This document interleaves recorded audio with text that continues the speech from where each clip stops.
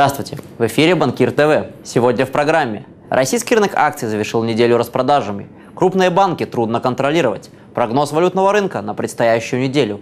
Как заработать в пенсионном возрасте? Президент велел снизить ставки по ипотеке. Банкир.ру проводит онлайн-конференцию, посвященную частным инвестициям. А теперь подробнее об этих и других темах.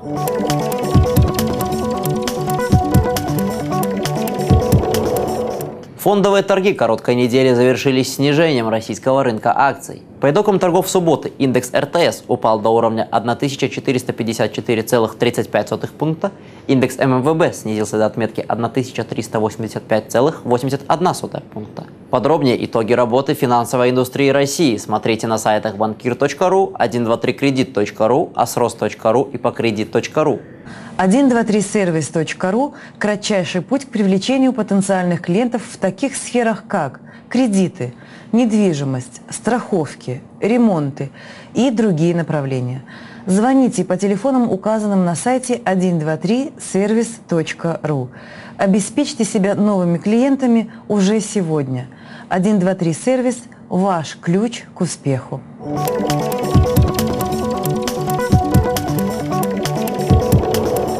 О своем отрицательном отношении к инициативе по увеличению капитала банков до миллиарда рублей в интервью банкир.ру рассказал председатель правления Форбанка Андрей Макулов. По его оценке, экономическая целесообразность повышения уставного капитала банков совершенно непонятна. Единственное объяснение, которое я слышал, отмечает банкир, это то, что нужно сократить число банков, так как меньшее количество банков будет легче контролировать. Жизнь показывает, продолжает Андрей Макулов, что часто крупные банки проконтролировать вообще невозможно. Небольшие региональные банки тщательно контролируются собственниками, акционерами, которые напрямую заинтересованы в развитии своего бизнеса. Да и репутацией местные банки дорожат. У нас ведь все друг друга знают. Крупные банки не может проконтролировать даже собственник. Что уж тут говорить про государство. Оно хочет взять на себя все риски. В этом случае, если банки и грохнутся, то сразу по всей стране. А в такой ситуации виноватых найти невозможно. Конец цитаты. Полностью интервью с Андреем Макуловым читайте на порталах банкир.ру, 123кредит.ру и покредит.ру.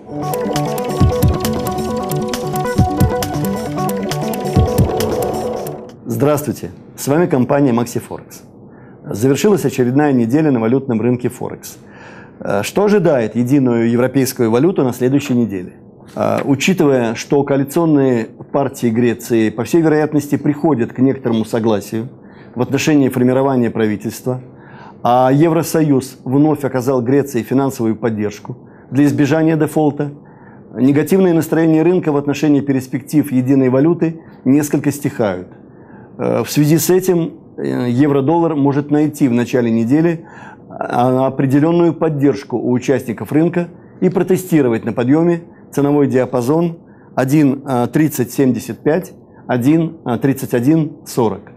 Однако далее политика нового руководства Франции, э, финансовое состояние Испании и динамика стоимости аккредитования проблемных стран еврозоны на долговом рынке э, могут вновь привести к усилению давления на единую европейскую валюту. В связи с этим в нашем прогнозе на следующую неделю предполагаем разворот пары после подъемов э, вышеназванный ценовой диапазон и возобновление снижения евро к целевым уровням 1.2904, 1.2874, 1.2818, 1.2790, 1.27, 1.2660 и 1.2615. Более подробную информацию по движению валют на рынке смотрите на сайте maxiforex.ru в разделе «Прогнозы». Желаем вам удачных и прибыльных торгов на рынке Форекс.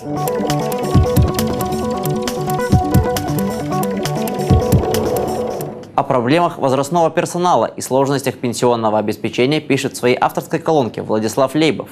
Он считает, что для представителя сегодняшнего среднего класса на пенсии поступление доходов может выглядеть приблизительно следующим образом – Государственная пенсия – это будет небольшая часть дохода, плюс дополнительный приработок, например, консультации, помощь в организации бизнеса, работа в течение неполного дня. Кроме того, желательно иметь доход от инвестиций, сделанных в среднем и зрелом возрасте, от вложений в акции до банковских депозитов и сдачи в аренду своей недвижимости. Полностью авторскую колонку Владислава Лейбова читайте на портале банкир.ру.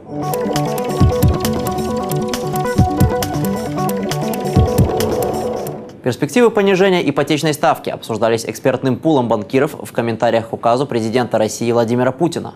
Он поручил правительству снизить ставки по ипотеке до уровня инфляции плюс 2,2%. Этих показателей необходимо достичь к 2018 году.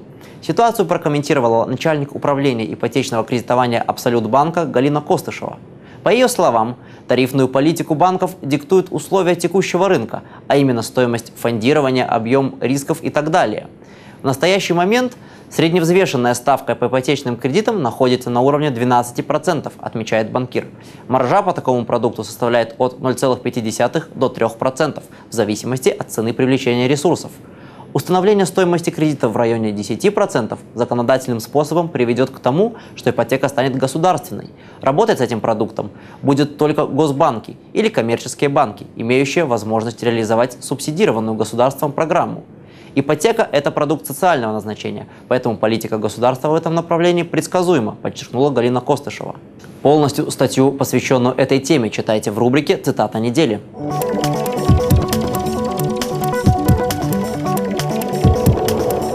17 мая на портале банкир.ру состоится онлайн-конференция, посвященная частным инвестициям.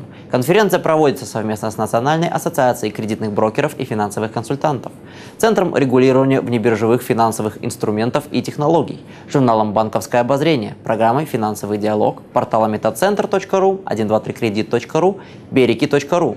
В онлайн-конференции принимают участие президент Инресбанка Сергей Осипов, начальник управления продаж Татфондбанка Рустем Исмагилов – начальник управления финансовых институтов и инвестиционных услуг Уральского банка реконструкции и развития Владимир Зотов, аналитик компании Максифорекс Владимир Севашов и другие. Задать свои вопросы участникам онлайн-конференции «Частные инвестиции. Варианты» вы можете на портале банкир.ру. Подробнее об этих и других темах финансового рынка читайте на сайтах банкир.ру, 123кредит.ру, astros.ru и покредит.ру. Сюжеты Банкир ТВ вы можете увидеть также на сайтах береки.ру, 123сервис.ру, финарти.ру, на сайтах Ассоциации региональных банков России, Национальной ассоциации кредитных брокеров и финансовых консультантов, компании «Кредитный и финансовый консультант» и других. А мы прощаемся с вами и желаем успешной финансовой недели.